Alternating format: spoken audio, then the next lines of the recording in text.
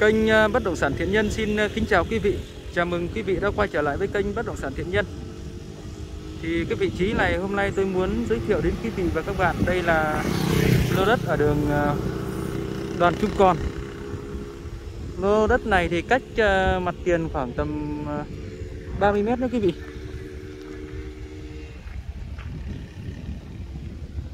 Lô đất này thì gần gần cà phê xưa và nay đây quý vị này. Khu này là khu nghỉ dưỡng đấy quý vị này.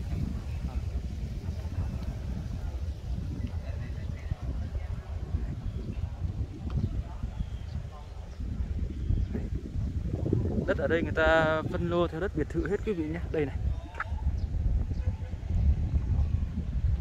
Hướng này là hướng đi ra thị trấn đất đỏ nhé quý vị nhé. Từ đây ra thị trấn đất đỏ thì khoảng tầm 700 à, mét nữa quý vị nhé. Đây còn ờ, lô đất của mình đây. Đi vào đây.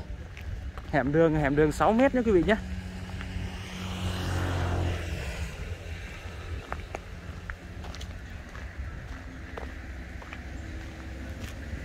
Từ mặt tiền đường ờ, đoạn trung còn đi vào khoảng tầm 30 mét nữa quý vị nhé.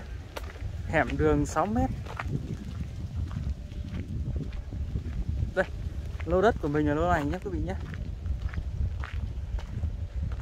từ cột mốc bên này. Đây, sang đến cột mốc bên này.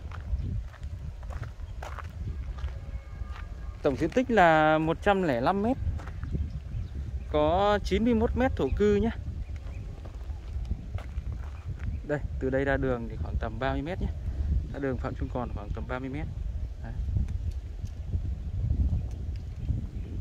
còn à, phía đối diện bên này đây, người ta làm khu nghỉ dưỡng này rồi là nhà vườn này khu nghỉ dưỡng uh, xưa và nay nhé quý vị nhé.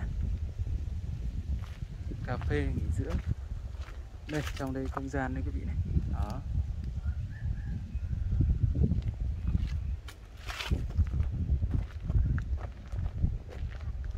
Vậy uh, quý vị uh, cũng như bạn bè người thân ai có quan tâm đến lô đất ở đường Phạm Trung Còn này Đoàn Trung Còn quý vị ạ thì hãy liên, nhanh tay liên hệ đến văn phòng bất động sản thiện nhân hoặc liên hệ trực tiếp đến ờ, số điện thoại ở dưới video.